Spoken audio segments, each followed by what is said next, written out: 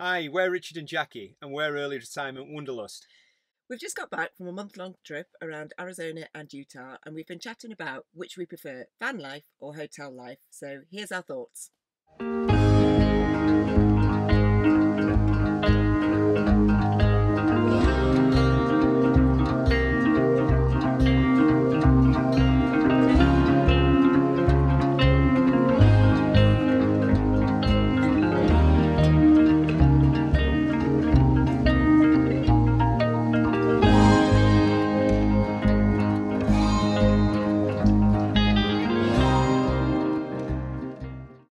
Back in the UK, and for the first time in a long time, we're back in the van, and we're really excited to be here. We haven't gone far, we're only 15 minutes away from home, but we needed a night away because the plumbers cut all the water off at home. So, any excuse to get out in the van. Yeah. So after a really fab holiday in America, um, where we were traveling, we were staying in hotels every night. We've been chatting about which one, which which we prefer. Is it van life or is it hotel life? And it's fair to say it's probably not going to be an easy one. so what we're going to do is we we've chosen a few different categories that we're going to have a chat about, and then at the end of each one, we're going to try and make a decision as to who wins out of van life or hotel life. It's fair to say it's probably about five years since we've spent any considerable amount of time in hotels, and we had an absolute blast in America. We didn't go for top end hotels because we couldn't afford it. We went pretty much for budget ish hotels, and the comparison with van life was really quite stark. We did really enjoy it. We, I'm not entirely sure whether I thought I was going to enjoy it or not, but turning up at a hotel, knowing that you've got a nice, clean, prepared room, you've got a lovely, comfortable bed all the time to get into. Someone comes around and makes your bed. You've got lovely, clean sheets. There is no feel, no, no better feeling than clean sheets. So yeah, I thought hotels were really, really comfortable. Yep, we had the added advantage of having kettles and fridges in them, so we did have some of the comforts that we have in the van. Uh, where's the van? Five years we've had the van for now, and um, it's fair to say I love my bed in the van. It's really cozy. I've got my own bedding on it. Um, there's nothing better than rolling out the bed at the end of a day in the van when we've had a day out in the van. I have always thought the van is really comfortable. Does it compare to the comfort of hotel rooms as such? It's a really difficult one. Um, I was fighting Hotel's Corner there just because someone needed to fight Hotel's Corner. I really like the fact that the, our bed and our comfort in the van is always with us. Yeah, and we've we've got we've made it to the point where we know what we like in the van, and we've got it to the point where we know how to get it really comfy. So, yeah, we like hotels. We did like being in the comfortable hotels, but van life wins it for me. Bathrooms is probably quite an easy one to guess which one's going to win. we don't have a bathroom in the van. Um, we've it's a tiny little VWT6. We love our VWT6, but there are no onboard facilities. And you do get used to that. and you do get better at working around it. So when we're on the road, um, we get pretty used to using public conveniences. Uh, when we stay at campsites, it's like positive luxury because we've got a shower there. But yeah, the ability to get out of bed and go to an ensuite bathroom was just amazing. And nice clean ones. Someone else cleans them for you. So yeah. So on the bathroom front, hotels definitely win. Definitely hotels for me as well. One of the things I really enjoyed when we were planning our trip to America was actually planning the um, finding different hotels and planning where we were going to stay. It took a lot of research and planning and finding um, places we could afford in some of the play in some of the stops. Yeah. Whereas a camper van, we feel that it over the five years we've had a camper van, it's provided us the ultimate flexibility. Um, when we first started, we were completely and utterly obsessed with having set itineraries and campsites booked and things like that. Whereas now, when we set off, we just sort of know the area that we're going to go to and we wing it. And if the first campsite we come to is full, then we'll go and find another campsite. But it does have that ultimate flexibility of having your bedroom or your home on your back.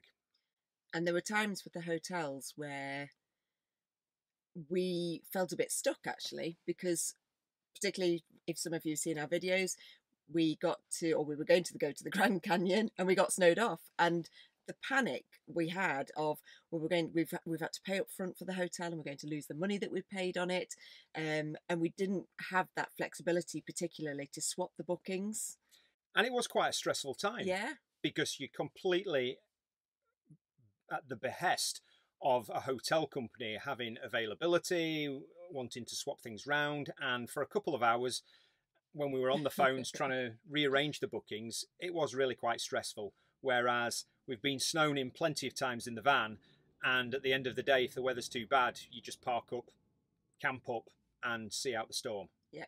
So, camper in terms vans. of yeah, in terms of flexibility, camper vans win. On the surface of it, camper vans are really really cheap as long as you forget the initial outlay of buying a van, and it's fair to say we didn't blow the budget on the van but we did buy ourselves a really comfortable van five years ago and we bought it as a 10 year project. We're firmly of the view that you do not need to blow the budget on a van because van life and adventuring in a van does not depend on you having an all singing, all dancing motorhome. It's more about the freedom to, to roam and the freedom to travel in your van. So, costs wise, yes, vans can be really, really expensive to buy to begin with. Even more so at the moment. Yeah. um, however, over time, our accommodation is so ridiculously cheap. So tonight we're wild camping out in the Yorkshire Dales, not far from home, and it's costing us nothing. And campsites can vary between £15 and £30 a night, uh, depending where we're staying and which country we're in but it's still a reasonable price. Whereas in America, when we were travelling around, um, we tried to limit ourselves to a £100 a night ish budget. There were nights where we found places that were significantly under that budget, and they were still really nice places because we were quite worried about being in sort of Bates motels. and there were a couple we turned up at and thought, oh, but they were nice inside. Um, some hotels, when we were at Zion National Park, were significantly over the hundred pound budget. Um, we stayed at a Holiday Inn Express. It was lovely. Um, and we did know up front it was going to be a lot more expensive. It was five hundred dollars for the two nights, which was eye-wateringly expensive to us. It's probably the most expensive hotel rooms we've ever booked, and they were nice. But we did realize how much because we were in America for four weeks. We did realize how much it all added up when we got back and did the maths. So my view is that even though you're laying out a lot of money for a camper van to start with, but it doesn't have to be a lot of money, I think it wins on budget. Yeah, we've done four week road trips in Europe where we've probably only spent a few hundred pounds on campsite yeah. fees, whereas we've done four weeks in America and we spent a lot of money on hotels. It was worth it. We knew it was going to be an expensive holiday, but yeah, camper vans win for definitely win on the costs. traveling around America just using hotels did bring its own trials with catering. We found ways around it. We would go to supermarkets, we would buy big bowls of salads and ready cooked chickens so that we could eat in the hotel rooms. We love American food. We did visit quite a few fast food establishments, but we did find eating out really, really expensive in America. We found the restaurants, um, I don't think we ate for under $50 a night, so we couldn't afford to eat out very often. And then we found that we were eating the same foods all of the time, which was quite repetitive. So, in a camper van, we try to keep things on a budget. We're in early retirement now, so we're not constantly on holiday. So, this, when we're traveling in our van, is our life. So, we try and keep that as normal as possible. So, we do our weekly shop and we try and keep as much of our weekly shop in the van. And we are pretty frugal. We don't eat out that no. much, and what we're actually finding is that we prefer to to go out for a drink and put our money into the economy that way, and then come back and eat in the van. Not only is it more cost effective, but it allows us to just little be a little bit more health conscious when we're on the road. That's what I was going to say. Actually, I think we eat more healthily when we're in the van because we can have um, a fresh supply of food all of the time. So, in terms of catering, for me, as much as I absolutely adore American cuisine and I loved a month on the road eating out, I think for my own health, I'd have to say the camper van would win. For me, the camper van wins as well, apart from we did find the barbecue place that had happy hour food and drinks. It was $5 a drink, $5 for a plate of food. That was pretty awesome. That takes some beating. Even the camper van can't beat that. No, quite exciting packing up to go flying um, to America. We hadn't flown for about five years, so actually, I was really excited about the journey. Um, and Richard was very excited when we got to Florida. Florida. Richard was very excited when we got to the airport, and the only hire car they had was the Mustang. So you quite loved your travel in the Mustang. What could possibly go wrong? and I will not have a bad word said about the Mustang. It uh, it was fab, and it was a real experience. Um, I have to say though, it wasn't the mo- it was the funnest car I've driven, but it wasn't the most comfortable car I've driven. It it was just uh, American muscle car, and I don't suppose it's meant to be comfortable when you're driving around, but when you put your foot down, it went. Um, and it didn't hold the luggage in very well. No, um, and was shoehorning it all in. So maybe it's a little bit unfair to compare a VW T6 with a Mustang. Um, I really like, and I think I've got used to driving a Volkswagen van, and you tend to be that little bit higher up. You can see a little bit more. You obviously can't go as fast. Part of that slowing down process is a is a mental process as well when you're driving. Um, but yeah, the the Mustang was really fun on those big open roads in the desert. But comfort of travel, actually, in the van, we can set off. We know we've got a long journey, but we can break it up. We can stop. We can have a cup of tea if we want to on the way. We can make our own lunch um, if we've got a really long day's travel. And you you like that in the van, don't you? I quite like, yeah, I do like taking the slow road and mm. knowing that we don't actually have to be somewhere as quickly as possible or as efficiently as possible. We can just take our time and stop, as Jackie says, whenever we want to stop. Taking the scenery. So, as much as I hate to say it, I do really, really love driving the camper van, the Volkswagen. So, for me, it would be the Volkswagen. And for me, it will also be the camper van. We do love our camper van, but I did enjoy having a fly drive holiday, it did make a nice change. It's fair to say, when we went to America, we knew it was going to be cold, so we knew we had to pack clothing for all sorts of climates. We were going to Phoenix, it was going to be warm in Scottsdale, and we thought it was going to be cold in um, the Grand Canyon. But we we did take a lot of luggage with us. we did, and as well as trying to squeeze it into the Mustang, which we've maybe talked about a little bit earlier on, um, the fact that we were constantly in and out of hotel rooms was pretty tying at the end. Yeah, I found it a chore. We were dragging these bags around.